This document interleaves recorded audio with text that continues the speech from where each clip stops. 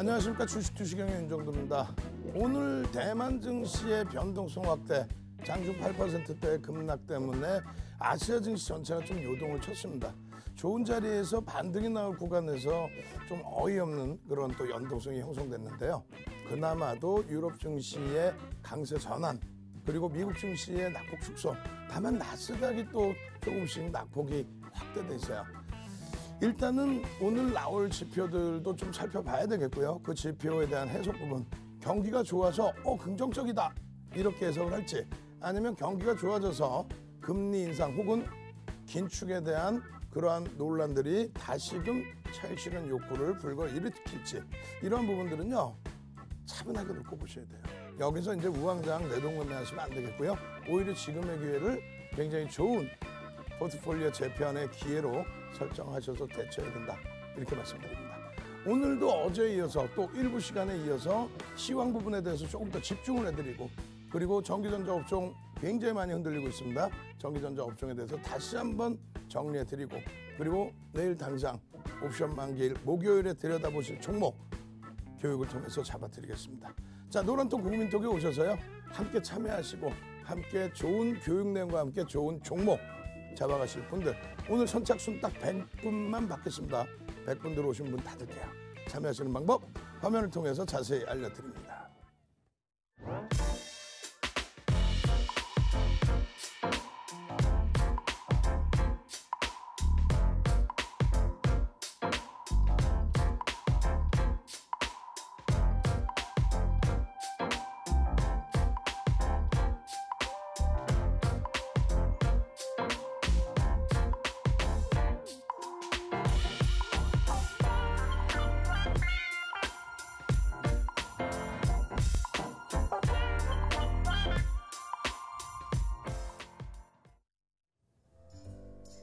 안녕하세요. 주식투시경 2부 진행을 맡은 캐스터 권혜연입니다. 자, 오늘 여러분들의 계좌 수익률 어떠셨나요? 주식 고민 있으신 우리 여러분들을 위해서 오늘도 실전 투자 교육의 시간 마련하고 있습니다.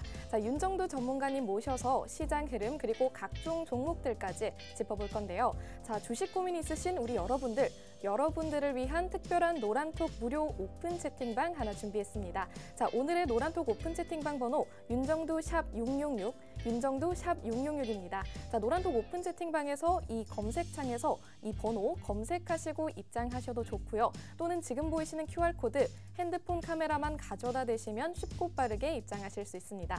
자, 여기까지 입장해 주시면요. 오늘 우리 윤정두 전문가님의 종목 선물들 계속해서 받아가실 수 있습니다. 자, 전문가님 하루하루 매일 쉬시는 법이 없으시거든요. 여러분이 원하시는 각종 무료 교육들 그리고 무료 교육 자료까지 모두 챙겨가실 수 있습니다. 자, 이뿐만이 아니라 오늘 방송이 끝난 밤 11시 10분에 온라인 무료 교육 강의까지 진행해 주신다고 하셨습니다. 자, 이런 무료 교육 강의와 무료 교육 자료들 오픈 채팅방 들어와 주신 여러분들에게만 무료로 제공해 드리고 있으니까요. 이 기회 놓치지 마시고 여러분들도 지금 이 생방송 시간 안에 얼른 입장해 주시면 되겠습니다. 자, 그럼 여러분들 모두 입장해 주신 걸로 알고 윤정두 전문가님 모셔서 오늘의 교육 시작해 보도록 하겠습니다.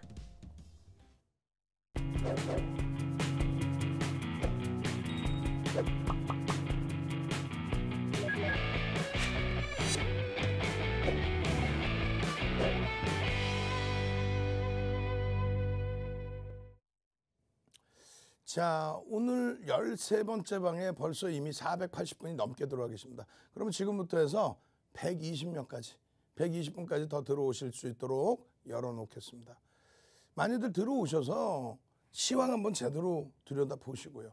그리고 지금의 흐름이 아니 솔직히 말씀드리면 이렇게 올라가다가 시장 마이너스 1%대 조정이다. 이거는 버겁지가 않죠. 다만 버거운 거는 시가총액 비중 34%를 형성하고 있는 우리나라의 영업이익의 35% 이상을 형성하고 있는 삼성전자와 하이닉스 전체적인 IT 종목의 조정이 너무 단기간에 깊어졌다라는 거죠. 음? 산이 높으면 골이 깊다 이런 얘기가 있습니다만 지금은 이제 높은 산의 기준이 아니라 골이 깊기 때문에 엄청난 탄력적 반등 기준을 기대해 볼 수밖에 없는 그런 위치예요. 기대할 수 있는 위치죠. 과도합니다. 많이 과도합니다. 그래서 왜 이렇게 밀려 내려가는지에 대한 부분을 일부에서도 설명을 드렸는데 자료 내용을 좀 바꿔서 2부 시간에도 또 설명을 드릴 겁니다. 일단 글로벌 시장의 흐름 자체가 나쁘지 않아요. 나쁘지 않은데 지금 현재 기준에 금리에 대한 얘기예요. 금리. 예? 귀가 따가울 정도로 이제 들으셔야 돼요. 제대로 들으셔야 돼요. 그 전에는 이 금리 기준이 3월 말 4월 또 원래는 1월 달부터 해서 어떤 내용으로 나왔죠? 미국의 10년 만기 국채 수익률의 상승. 경기가 좋아져서 인플레이션 우려감이 부각되고 경기가 좋아져서 시중금리가 올라가고 경기가 좋아져서 시중금리가 올라가니까 채권 가격이 내려가고 채권 가격이 내려가니까 채권 수익률이 올라가고 그 부분에 대해서 1.3에서부터 1.7까지 움직이는 동안에 여러 말들이 많았지만 결국은 지나 보니 아무것도 아니었다는 거예요. 지금의 기준도 똑같습니다. 기준금리에 대한 부분 FED가 응? FED가 1년에 8차례 FOMC 회의를 진행을 합니다. 매달이 아니에요. 매달이 아니라 45일에 한 번씩 이렇게 회의를 진행합니다. 이 기준을 알고 계셔야죠. 그런데 이번에 굉장히 주요시된 게 순차적으로 보여드릴 거예요. 뭐 1월 그러면 여러분들 너무 멀리 떨어져 있잖아. 1월 달에 3천 포인트 이탈 될 때 이야 이거 긴축하는 거야? 라고 했을 때. 그 이후에 1월 그리고 3월 4월 예? 이렇게 해서 4월 달 세 번째 FOMC 올해 들어서 회의가 열리는데 이때부터 이제 얘기가 나옵니다. 인플레이션에 대한 대응과 테이퍼링 시점이 어느 정도 기준이냐. 이 테이퍼링 시점은 대략적으로 7월 회의 때, 7월 회의 때 이야기가 나올 것으로 예상을 했었죠. 결과적으로 이 인플레이션의 대응이라는 단어가 나온 것은 사실은 1월부터 2월, 3월 계속 나왔는데 어떤 것 때문에요? 전체적으로 놓고 보면 미국의 대선, 대선의 영향 때문에 선거의 공약, 새로운 정부의 경기 부양책 이런 부분 때문에 인플레이션이 있더라도 아직까지는 뭐 감내할 만하다. 왜? 아니 정부가 경기 부양책을 쏟아붓고 있는데 1조 9천억 달러를 막 승인받아서 쏟아붓고 있는데 추가적인 부양책을 단행하고 있는데 거기서 뭐 인플레이션 때문에 안 된다. 긴축해야 된다. 테이퍼링 단행하겠다. 아 이건 말이 안 되잖아요. 아무리 독립기관이라고 해도. 그래서 그 분위기가 이제 뭐 만장일치로 금리 동결은 당연한데 어느 시점에 들여다 볼 거냐의 기준이 월가에서는 미리 예측이 이제 4월부터 나왔고요. 4월에는 코멘트가 나올 수 있다. 그래서 여러분들께 미리 선제적으로 자 이렇게 되면요 쭉 올라가던 시장에 차익 실현 효과 나올 수 있습니다. 그리고 성장주에 대한 언급이 나올 수 있습니다. 그리고 가치주 지금 실적이 나오는 실적주에 대해서 바꿔가야 됩니다. 경기가 이제 막 올라서고 있으니 처음부터 움직이는 뭐 기초수제부터 해서 응? 소비재부터 해서 이런 쪽의 기준들이 이제 꿈틀거립니다. 그리고 실질적으로 먼저 움직이는 업종들 물동량의 증가, 해운, 그에 따른 조선, 그에 따른 철강, 우리나라 자체 기준에서 또 건설 이런 여러 가지 기준점의 종목군들로 이동 전략에 단행해야 된다라고 했는데 그것은 이제 앞전의 흐름이든가 순환성의 흐름으로 보는 거고요. 지금의 기준은 전체 우리나라의 시가총액의 34% 비중, 영업이익의 35%의 비중을 갖고 있는 삼성전자, 하이닉스의 그 흐름의 기준을 이제부터는 더 눈여겨 보셔야 돼요. 그들이 무너진다. 그 정도로 야 이거 문제가 심각한 거야? 라고 한다면 이건 뒤도 돌아보지 말고 도망 나와야죠.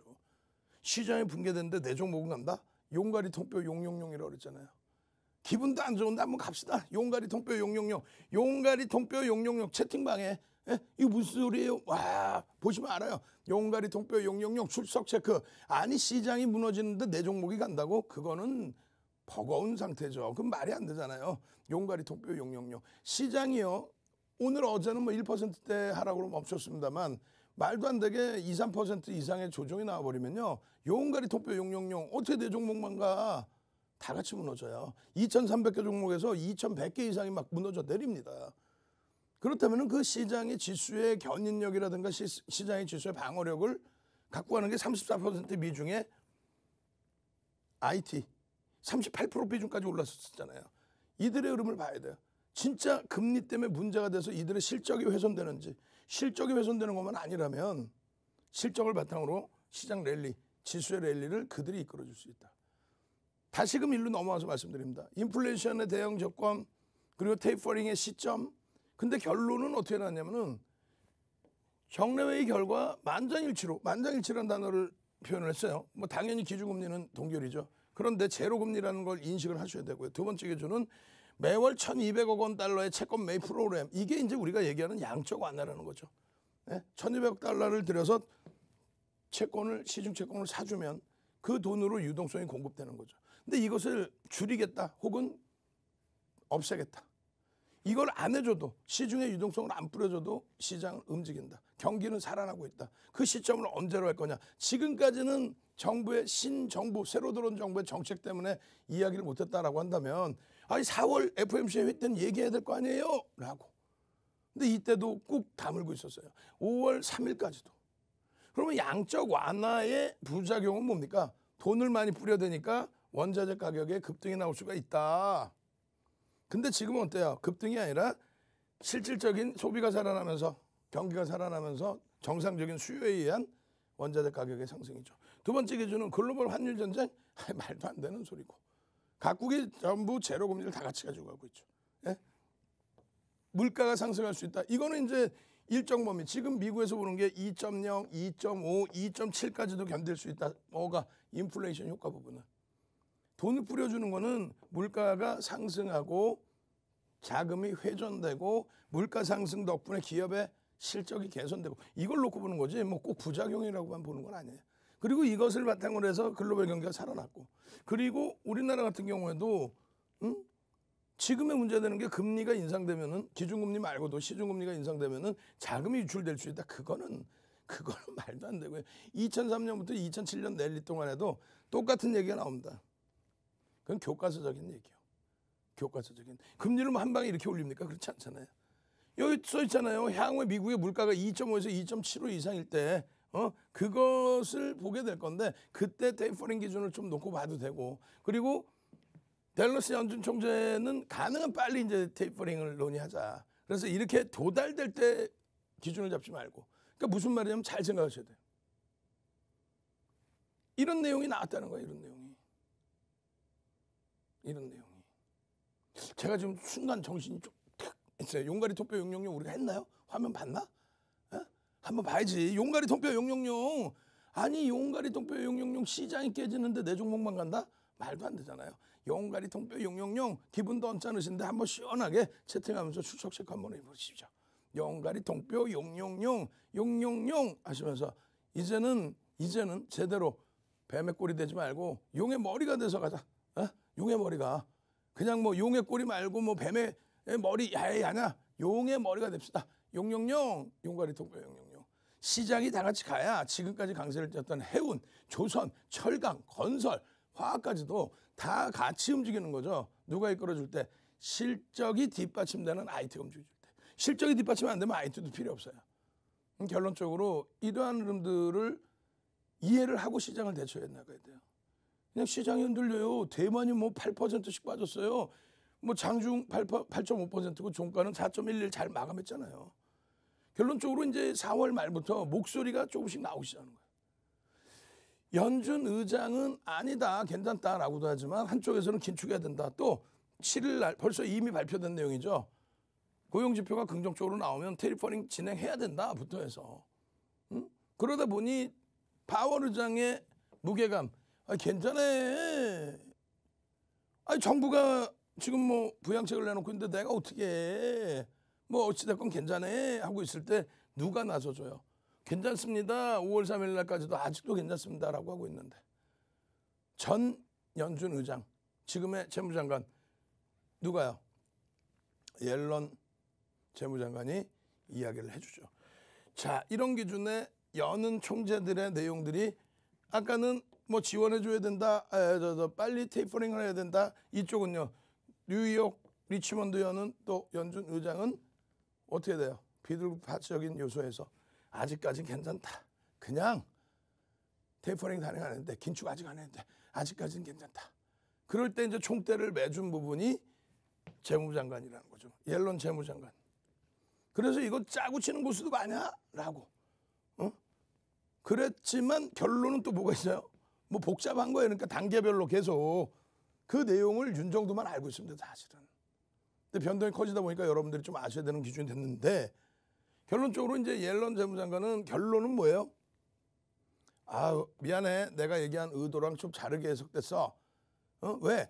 독립성을 훼손시키면 안 되거든요. 그 독립성의 훼손이 될 수 있는 내용을 언급을 했잖아. 어 긴축 좀 해야 되는 거 아닌가? 금리 만져야 되는 거 아니야? 이렇게. 그런데 이조차도 바뀝니다. 뭐라 바뀝니까? 혼란스러워지는 거죠. 그래서 예상했던 조정보다도 더 사실은 좀 더 확대되어 있는 부분도 있다. 그래도 대수 상승인데 예상했던 조정보다는 확대된 부분이 있다. 뭡니까? 첫 번째, 이거 다 아시는 내용이잖아요. 예상치를 하회하는 고용 지표. 예상치를 하회하는 또 뭐가 있어요? 실업자 수, 퍼센테이지, 실업률. 이렇게 되면 어떻게 돼? 이것 때문에 금요일 날 시장이 반등 나왔다. 그래서 윤정두가 지표가 안 좋아서 반등 나오는 걸 박수치고 낄낄대고 웃으면 안 된다. 여러분들 말고 방송 나서 낄낄낄낄 보셨죠? 시장 올랐죠? 이게 지표가 안 좋은데 그걸 웃을 일입니까? 이러한 내용이 그래서 부랴부랴 연준에서도 또 응? 많은 분들이 미국 시장 내에서 야 이거 쇼크 아니야? 어? 이거 쇼크 아니야? 추세 아니야? 좋아질 수 있어. 경기 회복 계속돼.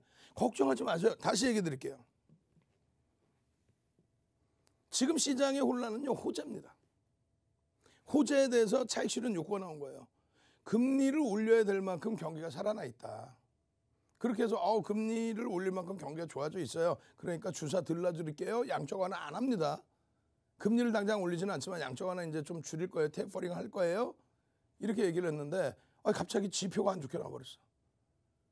그 시장이 우왕좌왕하는데 이제 일단 반등이 나왔죠. 근데 거기에 대해서 실질적으로 보는 시간이 뭐예요? 아니 가슴에 손 얹고 우리가 아니 우리가 바보입니까? 지표가 안 좋은데 좋다 이러고 있을 거예요. 지표가 안 좋은데 지금 이미 양쪽 완화를 해서 부양을 해주고 있잖아요. 근데 뭐 더 이상 뭐 뭘 바래? 실적이 안 좋은데 아우 좋아 이래요? 그건 아니죠. 실적 그리고 경제 지표 뭐 실적으로 말씀드리 죄송합니다. 경제 지표가 에? 예? 좋아야 되는 거죠. 그러니까 부랴부랴 오히려 거꾸로 그들이 그들께서 아 이거 일시적이에요. 걱정하지 마세요.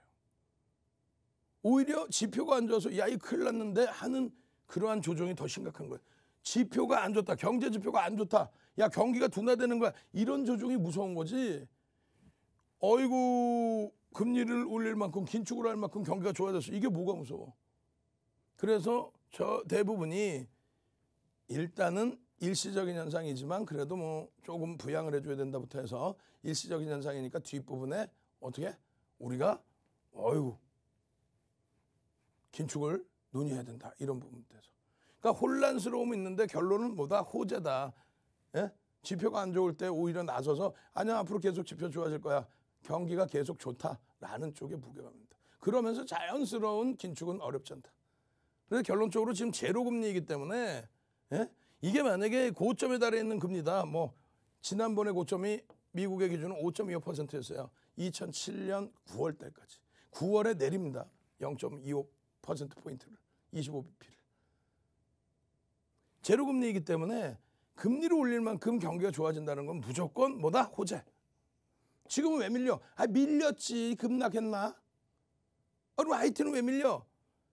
차익 실현의 욕구가 더 커진 거죠. 왜? 많이 올라와 있어서. 그럼 우리도 차익 실현해야지. 아니지. 그들도 일부의 물량에 응? 차익 실현 그리고 신규 편입의 기준 이렇게 설정이 되는 거지 전량의 물량을 차익 실현하겠다 그게 아닙니다.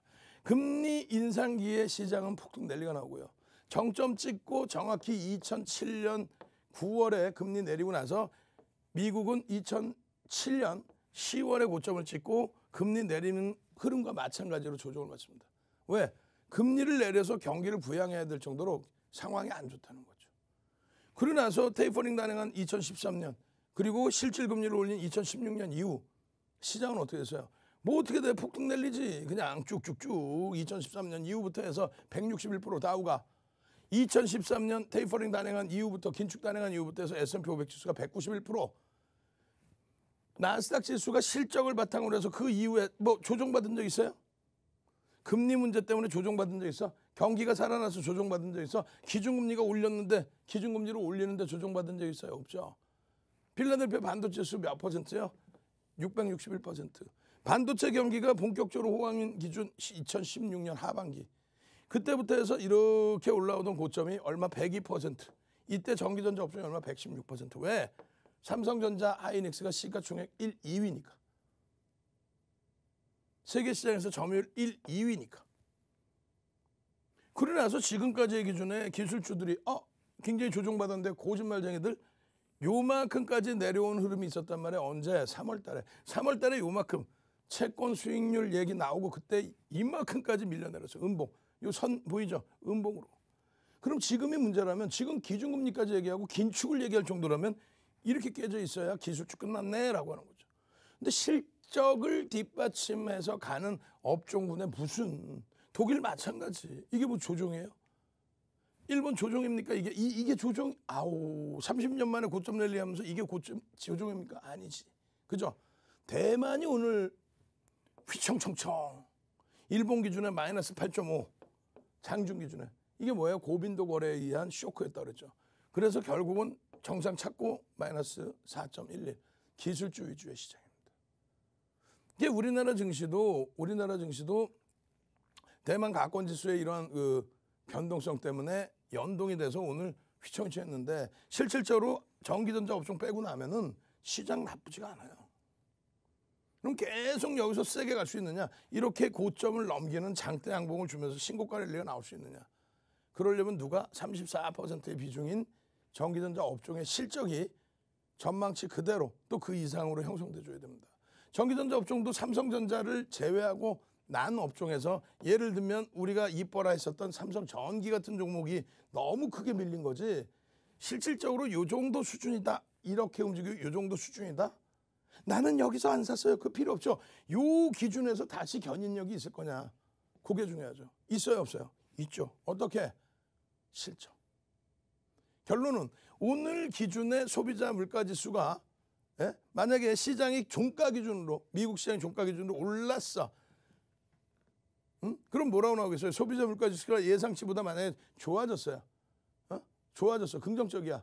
그러면 야 경기가 역시 좋구나라는 랠리. 만약에 지표가 안 좋았어. 그런데도 올랐어. 그러면 그때는 또 해석을 뭐라고 그래요? 와 테이퍼링을 조금 뒤에 할 수 있구나. 안도 랠리. 결과론적인 해석을 한단 말이에요. 야 이거 경기 지표가 좋아서 나오면은 큰일 날 수 있어. 그게 이제 지금 난싹 선물의 약세 기준으로도 설정할 수 있는데 그것보다는 어느 방향으로 나와도 시장은 반전이 될 수 있다. 왜? 유럽장이 일부 이미 반등을 내주고 있어요. 미국 선물에서 또 미국의 흐름에서 지금 현재 기준에 눌림목이 좀 많이 나와 있다 할지라도 그걸 우려하지 마시고 나오는 지표에서 뭘 지금 당장 뭐 어, 테이퍼링 물 건너갔다 이렇게 해서 지표 그냥 아주 안 좋게 나라 이거 하지 말고 지표야 영원히 좋게 좋게 나와라 이렇게. 지표야 계속 예상치보다 긍정적으로 나와라 이렇게. 그래야 경기가 살아나는 거고 그 경기가 살아난다는 거는 기업들의 실적이 어마어마하게 개선된다는 얘기가 되죠. 오늘 보실 거는 이 지표뿐이 없어요. 일단 그리고 내일 기준에서 내일 장중 내내 윤정두가 교육해드리는 또 23시 10분 이후에 그냥 오늘 밤새 봅시다. 그냥 밤새 교육해드릴 테니까. 혼란스러우시면. 그렇게 해서 내일 개장 전부터 잡아낼 수 있는 종목군들 잡아내서 오늘 같은 날 포스코 엠텍 같은 그런 상한가 와우 잡아내셔야죠 포스코 엠텍 같은 상한가를 예? 월요일 날 휴온스 글로벌부터 해서 유바이오로직스 상한가 빵. 그냥 상상상입니다. 그냥 아시겠죠? 참여하시는 방법 화면을 통해서 자세히 알려드립니다. 네, 안녕하세요. 캐스터 권혜연입니다. 네, 여러분 오늘도 윤정두 전문가님의 주식 실전 투자 교육 잘 듣고 계셨을까요? 네, 지금 윤정두 전문가님의 노란톡 오픈 채팅방 반응이 굉장히 뜨거운데요. 바로 윤정두 전문가님께서 어제 온라인 방송에서 교육해 주셨던 종목들 중에 포스코 엠텍 오늘 하루 만에 바로 상한가 기록했죠. 이 때문에 지금 노란톡 오픈 채팅방 굉장히 반응 뜨거운데요. 지금 여러분들도 이 생방송 시간 안에 이 노란톡 오픈 채팅방 함께 무료로 참여하실 보실 수가 있습니다. 자, 오늘 이 방송 시간 안에만요. 무료로 오픈 채팅방 열어뒀으니까요. 여러분들도 노란톡 오픈 채팅방 검색창 찾으셔서 윤정두 샵 666 이렇게 검색하시고 입장하시면 됩니다. 또는요. 지금 보이시는 QR코드 여러분 핸드폰 카메라 어플 실행시키셔서 이 QR코드에 가져다 대시면 링크가 뜰 겁니다. 그 링크 클릭하시면요. 이 노란톡 오픈 채팅방으로 바로 쉽고 빠르게 입장하실 수가 있습니다. 자, 여기까지 입장해 주시면요. 어제 우리 윤정두 전문가님의 포스코 엠텍 이런 종목들 상한가 가는 종목들 바로 교육 받으실 수 있고요. 이 외에도 방송 끝난 이후에도 무료 교육 강의 모두 챙겨가실 수가 있습니다. 자, 그럼 여러분들 이 노란톡 오픈 채팅방 모두 입장해 주셨는지 지금 노란톡 오픈 채팅방 상황 한번 빠르게 살펴보도록 하겠습니다. 네, 지금 실시간으로 어, 굉장히 많은 분들 함께 해주시고 계세요. 벌써 513명, 실시간으로 513명 입장해 주셨는데요. 윤정두 전문가님께서 딱 100명까지만 받고 오늘 오픈 채팅방 입장 마감하신다고 하셨으니까요. 여러분들도 얼른 빠르게 입장해 주셔야 할 것 같아요. 이미 남은 자리가 50자리밖에 없으니까요. 얼른 입장해 주시고요. 그럼 오늘도 출석 체크 한번 진행해 보도록 하겠습니다. 지금 여러분들요, 방송 보고 계시고 이 오픈 채팅방 들어와 주셨 하셨다면요. 오늘의 출석 체크 키워드 상상상 입력해 주시면 되겠습니다. 자, 오늘의 출석 체크 키워드입니다. 상상상 이렇게 오픈 채팅방에 남겨주시면 됩니다. 자, 우리 윤정두 전문가님과 함께 하시면요. 여러분들이 주식 고민 있으실 때 또는 어, 포트 바꿔보고 싶은데 어떤 종목 들어갈까요? 하는 그런 고민 생기실 때 이 오픈 채팅방에서 교육 받으시고 상한가 가는 종목 잡아가시면 되겠습니다. 자, 그럼 노란톡 오픈 채팅방 상황 다시 한번 살펴볼게요. 네, 여러분들 출석 체크 다들 함께 해주시고 계시네요. 송영준님, 김효미님, 김동현님, 김월자님, 이중근님, 황선일님, JW님, 오연길님. 내가 제가 지금 다 읽기 힘들 정도로 굉장히 많은 분들이 출석 체크 함께 해주시고 계시고요. 이런 식으로 지금 노란톡 오픈 채팅방 입장해 주시면 실시간으로 저희와 함께 소통해 보실 수도 있고요. 방송 끝난 이후에는 계속해서 종목 선물들 받아가실 수 있고 무료 교육 강의도 추가로 얻어가실 수 있습니다. 자, 그럼 여 러분들 모두 이 노란독 오픈 채팅방 입장해 주신 걸로 알고 윤정두 전문가님 다시 한번 모셔보도록 하겠습니다.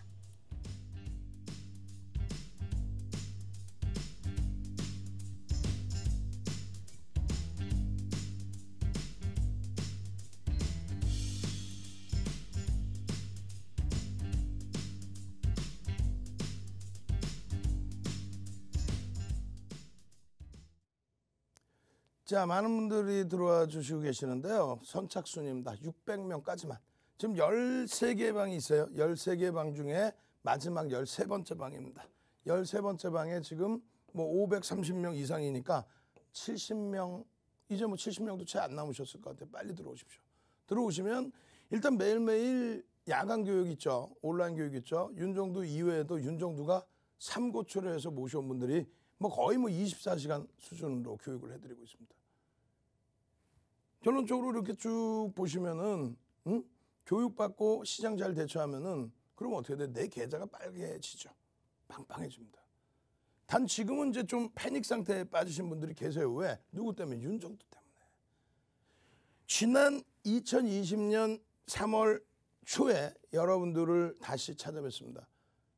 주식 두시경 시즌 3로 찾아뵙고 나서 지금까지 흐름에 코로나19 사태의 이 자락보다도 지금이 더 힘든 것 같아요.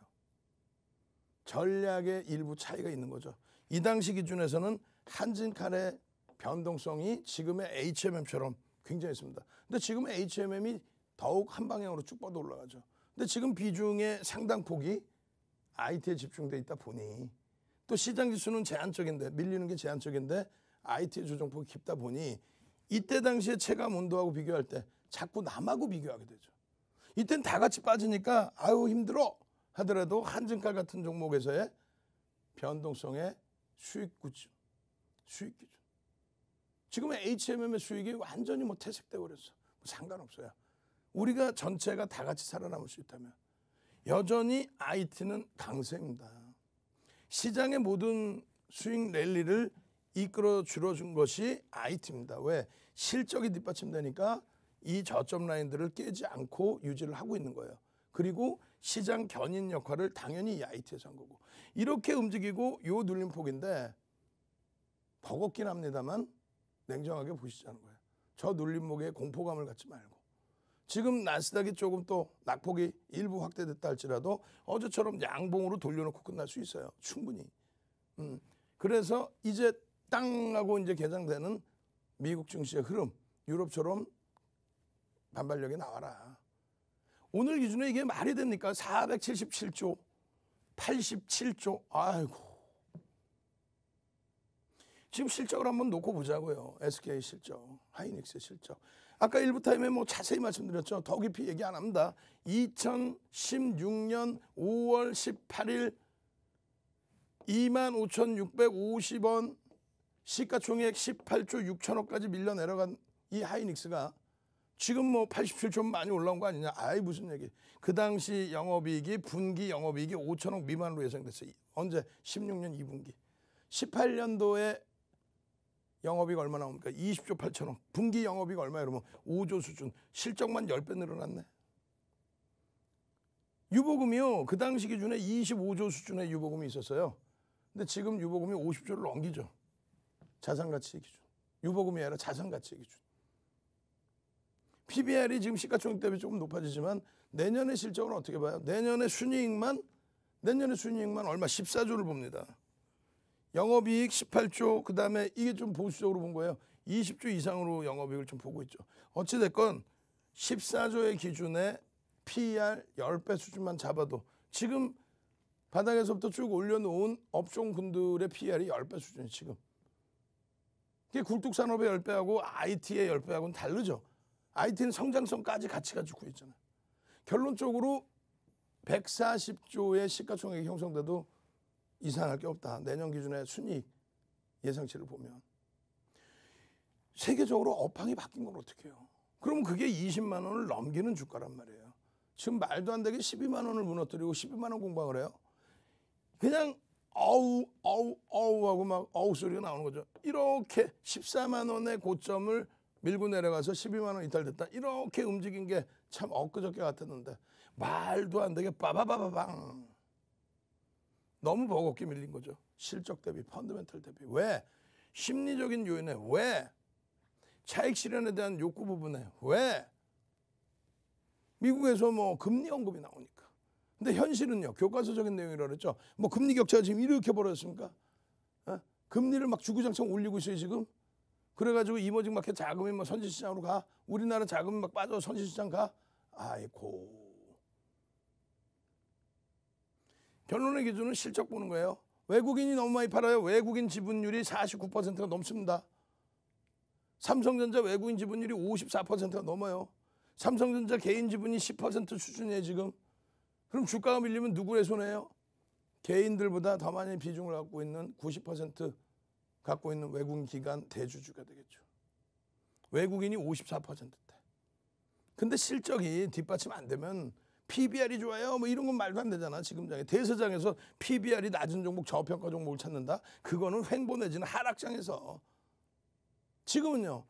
성장주인데 우리가 흔히 얘기하는 어 성장주 팔고 가치주 샀어요. 그 내용이 아니라 실적이 뒷받침되는 종목. 시가총액 비중이 24.4% 전체 영업이익 비중이 삼성전자 하이닉스 두 종목을 합치면 35%의 비중. 삼성전자만 해도 30%가 넘죠. 그렇게 되면은 삼성전자의 비중이 30% 수준 돼 있어도 이상할 건 없어요. 다만 자산 가치 부분도 보는 거죠. 결론적으로 삼성전자의 이러한 사상 최대 치 실적 36조 8천억을 넘겨서 60조 원에 달하는 영업이익과 그리고 그 기준에 뭐가 있어요? 14%의 자사주이익 소각. 그리고 화폐 가치의 훼손 때문에 더 움직여서 올려줘야 될 그러한 기준점. 결국은 지금의 실적 범위가 46조까지 내년에 순이익이 보수적으로 예상한다 했을 때 PER이 10배, 11배 수준. 말이 됩니까 이게? 이게 무슨 뭐 철강주예요? 10배, 11배게? 이게 뭐 자동차예요? 이게 무슨 뭐 조선이야? 지금 이걸 가지고 거품론을 얘기하고 여기서 성장주를 빼서 가치주를 간다? 그 뭐라 그랬어요? 실적이 안 나오는데 성장성을 보는 거하고 실적이 나오는 거하고는 완전히 다릅니다.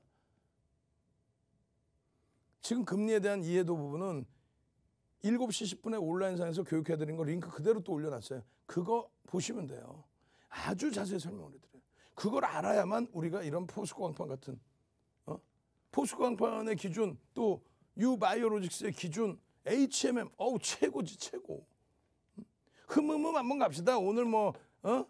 MSCI 지수에도 편입되는데 흠흠흠 빨리 HMM 빨리 넣으시고 나 자료 주세요. 기초도서 자료 드릴게요. 기초도서 자료 캔들 자료 한 권 통으로 드립니다.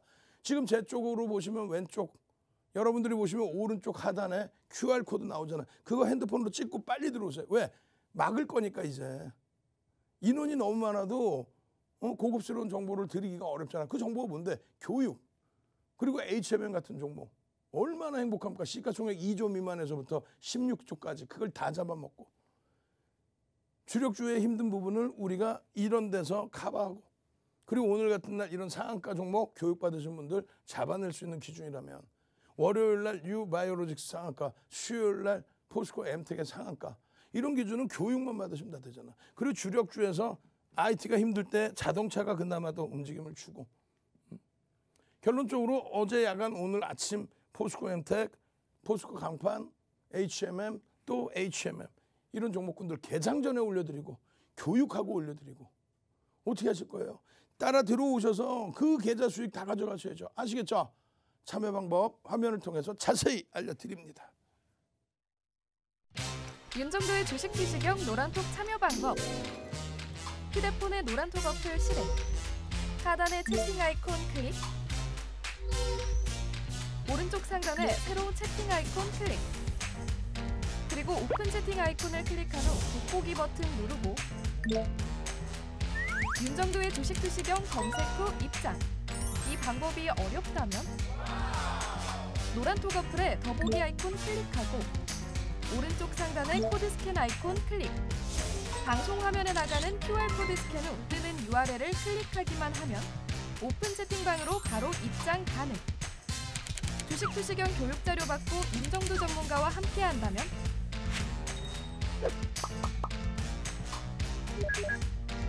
투자의 시각이 바뀌는 경험. 윤정두의 주식 투시경. 안녕하세요. 캐스터 권혜연입니다. 자, 오늘도 우리 윤정두 전문가님의 오픈 채팅방 반응 굉장히 뜨거웠는데요. 바로 우리 윤정도 전문가님께서 교육해 주셨던 종목들 오늘 바로 높은 수익률 기록했기 때문입니다. 자, 여러분들께도 자료 화면으로 바로 한번 확인시켜 드릴게요. 네, 먼저 오늘 아침 공략 종목이었습니다. 포스코 강판 13.92% 상승했는데요. 3주 만에 누적 수익률 185.28%를 기록했죠. 다음으로 HMM 역시 9.35% 상승했는데요. 4개월간 누적 수익률 239.51% 굉장히 높은 수익률 기록했습니다. 다음으로 노란톡 교육 종목도 살펴볼게요. 자, 포스코 엠텍 오늘의 하이라이트 종목이었죠. 29.50% 상한가를 기록했는데요. 저희 윤정도 전문가님은 이미 다 아시고 어젯밤에 교육해 주셨습니다. 자, 유바이오 로직스도 24.84%라는 수익률을 기록해서 누적 수익률 247%를 넘어섰습니다. 다음으로 온라인 방송 교육 종목도 살펴볼게요.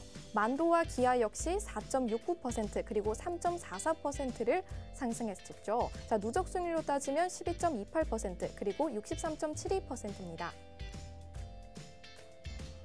네, 방금 확인하신 것처럼 아주 빵빵한 수익률 저희 윤정두 전문가님과 함께라면 가능합니다. 여러분의 계좌에 빨간불을 켜줄 윤정두 전문가님만의 특급 노하우 궁금하시다면요. 지금 노란톡 오픈 채팅방 무료로 열어뒀으니까요. 여러분들도 지금 이 생방송 시간 안에 얼른 입장하셔서 이런 상한가 가는 종목들 모두 받아가시고 추가적인 교육들도 무료로 챙겨가시면 되겠습니다. 자, 오늘 방송이 끝난 이후 오늘 밤 11시 10분에도요. 윤정두 전문가님께 서 무료로 교육 강의 진행해 주실 예정이니까요. 이 강의도 여러분들께서 꼭 챙겨 들으셨으면 좋겠습니다.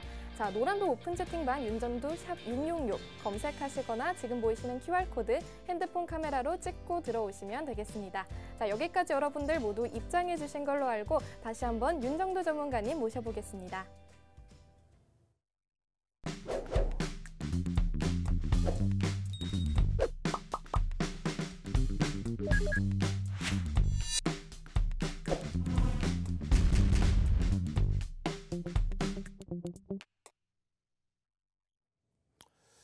자, 많은 분들이 들어와 주시고 계시는데 지금 현재 570분, 13번째 방에는 570분 들어와 계십니다. 30분만 더 들어오면 문 닫을 거예요. 음. 오늘 기준에서도 이거를 좀 보셔야 돼요. 오늘 기준에서도 무슨 얘기를 하냐면 외국인이 너무 많이 팔아요. 기관이 너무 많이 팔아요. 개인이 너무너무 많이 사요. 개인이. 예? 근데 예전에 시가총액 예를 들어서 시가총액 뭐 어? 지수가 1000포인트일 때 기준하고 그리고 2000포인트일 때 기준하고 뭐 여러 가지가 있겠죠.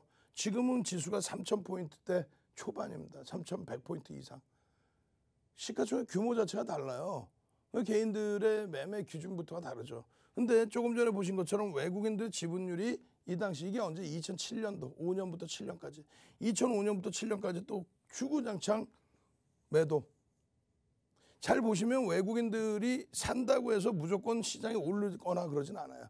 외국인들이 사더라도 아니 전체 시장이 무너지는데 롱텀 캐피탈 매니지먼트 사태로 동남아 외환 위기가 오고 시장이 붕괴가 되는데 우리나라 기준에 IMF가 찾아왔는데 외국인들이 지분한도 늘리는데 그거를 바보 마냥 위로 막 치고 올려서 늘립니까? 아니죠.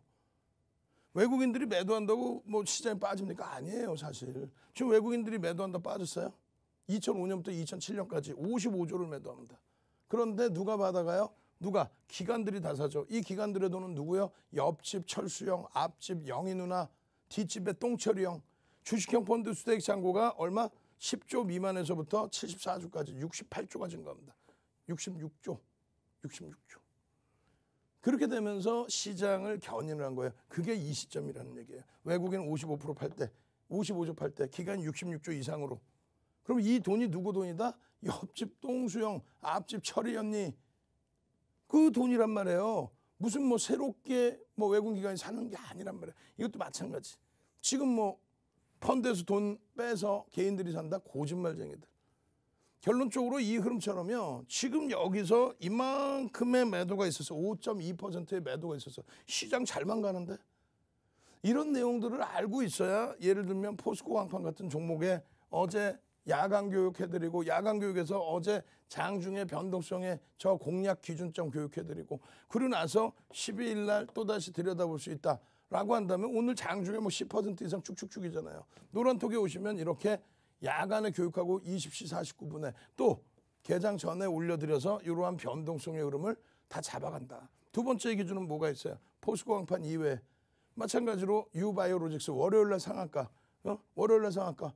또 화요일 날 눌려져 있을 때는 변동성이 안 나오죠. 왜? 거래량이 900만 주를 받는데 400만 주뿐이 안 나왔어. 오늘은 1000만 주죠. 그러면서 장중에 막 20%씩 쭉쭉쭉. 거래대금 거래량만 나온다면은 저러한 전략 교육만 받으시면 바로 5월 10일 날 교육만 받으시면 그냥 이러한 상한가 종목도 여러분들 꽤 된단 말이에요. 이 교육을 받으시고 들여다보는 포스코 엠텍은 어때요? 그 교육을 받고 들여다보는 포스코 엠텍의 기준은요. 유바이오로직스 조금 전에 5분봉 또 1봉의 기준의 수익처럼 이런 수익의 기준의 상한가 랠리의 기준도 여러분들이 잡아내실 수 있다. 거래대금 오늘 충만하게 터져졌죠. 4천억 이상. 오늘 거래대금 최상위 종목. 결론적으로 개장 전에 4월 15일 날 미리 올려드렸고 그 거래량 거래대금을 실으면서 오늘의 기준에 5분봉의 기준입니다. 거래량 터트리면서 양봉의 기준에 대한 교육을 제대로 받으셔야죠. 그러면 어떻게 된다? 캔들 기준의 샛별형. 좀 더 배울 거예요. 요 샛별형 뜨고 HMM이 38,300원에서 direct로 57,000원, 8,000원. 우와! 이런 종목 교육받고 잡으실 분들만 들어오십시오. 참여하시는 방법 화면을 통해서 알려드립니다. 네, 여러분 안녕하세요. 다시 돌아온 캐스터 권혜연입니다. 자, 오늘 방송 시간 이제 얼마 남지 않았는데요. 아쉬워하시는 여러분들 많으신 것 같아서 한 번 더 안내 도와드리려고 합니다. 자, 노란톡 오픈 채팅방 오늘 이 방송 시간 안에만 무료로 준비해뒀고요. 자, 윤정두 샵 666 오픈 채팅방 검색창 찾으셔서 검색하고 들어와 주시면 됩니다. 또는요, 지금 보이시는 QR코드 핸드폰 카메라 어플 실행하셔서 가져다 대시면요. 링크가 하나 뜨는데요. 이 링크 클릭하시면 바로 입장하실 수가 있습니다. 자, 여기까지 입장해 주시면요. 윤정도 전문가님만의 특급 노하우가 가득 담긴 교육 자료들, 무료 교육들, 그리고 종목 선물들까지 받아가실 수 있습니다. 저희가 지금 이 생방송 시간 안에만 준비해둔 오픈 채팅방이니까요. 이 방송이 끝나면요. 입장 어려워지실 수가 있습니다. 자, 이 추가 교육과 추가 교육 자료 모두 원하시는 분들은 지금 이 시간 안에 얼른 입장해 주시면 되겠습니다. 자, 그럼 여러분들 모두 입장해 주신 걸로 알고 윤정두 전문가님 모셔서 오늘의 방송 마무리해 보도록 하겠습니다.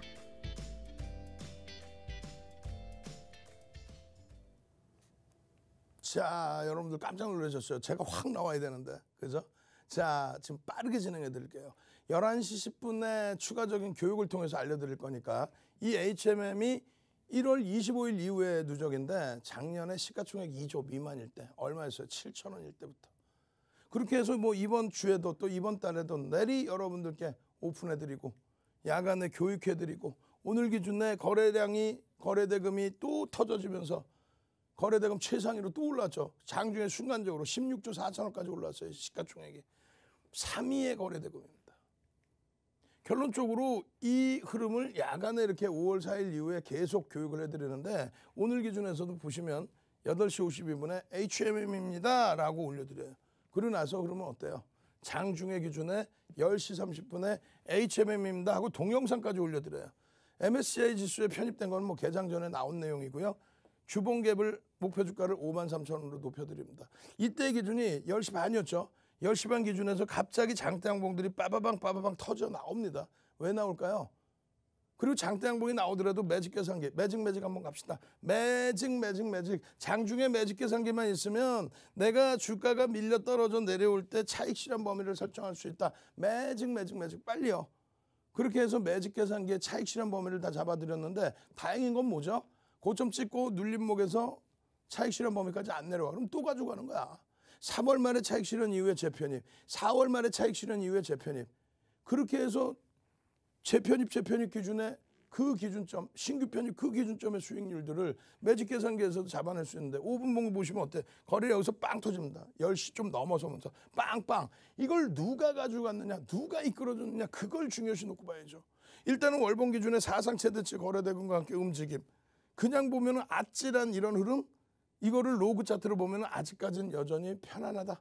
5월 말까지 이제 MSCI 지수 편입된 그 흐름에 수급이 들어올 수 있다. 실적 발표가 아직 남아있다. 대한 목표 주가 5만 3천 원으로 높여드릴 수 있다. 추세 범위에 대한 교육을 이걸 잡아드렸는데 이 내용이 전 세계적으로 없는 거예요. 윤정두 거예요. 이 자료도 받으셔야 됩니다. 이때가 언제요? 10월 23일. 10월 21일부터 방송 오픈해드리고 이 추세 교육 지속적으로 해드리고 아까 보여드린 자리가 여기입니다. 여기 10월. 그리고 나서 요 자리에 이 흐름에 무엇을 또 보여드립니까? 이게 뭐예요? 조금 전에 보신 예? 포스코 엠텍의 상한가 뭐예요? 샛별형 뜨고 상한가 빵!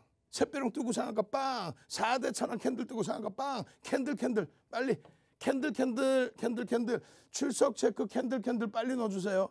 지금 여러분들 화면의 오른쪽 하단 윤정두 왼손 밑에 QR코드 나오죠. 그거 빨리 찍고 들어오셔서 캔들 캔들 선착순 150명까지만 캔들 도서 자료 한 권 무료로 팡 던져 드립니다. 그러면 이 캔들 교육만 이렇게 받을 때 이 캔들 어떻게 써요? 동영상 기준에서 교육 다 해드렸죠. 자료 드렸죠. 이 도서 자료 다 나눠 드렸죠. 그리고 이게 얼마야? 37,800원. 여기서 38,300원 넘기면 이게 뭐다? 새배령입니다. 라고 했는데 이 교육을 온라인상에서도 다, 다, 다, 다 해드렸는데 오늘 또 해드려야 될 거 아니에요. 어제도 보여드리고 오늘도 보여드리고 이 기준이 이렇게. 이 기준이 이렇게. 그러고 나서 47,000원대까지 38,000원에서부터. 얼마예요, 그것만. 9천 원입니다. 이틀, 3일, 3일, 4일 만에. 이런 흐름들의 매집의 기준에서도 매집, 매집, 매집, 매집. 누가 사는지를 알고 대처를 해야 된다. 외국인 기준에서도 창구 동량이 어디냐? 창구가 가장 많은 게 UBS 한국투자증권이죠. 오늘 한국투자증권이 삽니다. 프로그램 매수에서 갑자기 이런 매수가 팡 들어와요. 몇 시에? 10시 22분에. 이때 기준에 딱 보시면 한투가 갑자기 이렇게 매수가 들어온 게 딱 체크되죠. 그게 5분봉에서 보여지잖아. 그렇게 해서 이 매집에 대한 내용들 이런 내용까지 다 잡아가시면 여러분들이 어떻게 돼? 수익 내기 쉽죠? 주식 어렵지 않습니다. 23시 10분에 온라인 교육 해드리고요. 저는 내일 이 시간에 다시 찾아뵙습니다. 주식 투시경의 윤종두였습니다.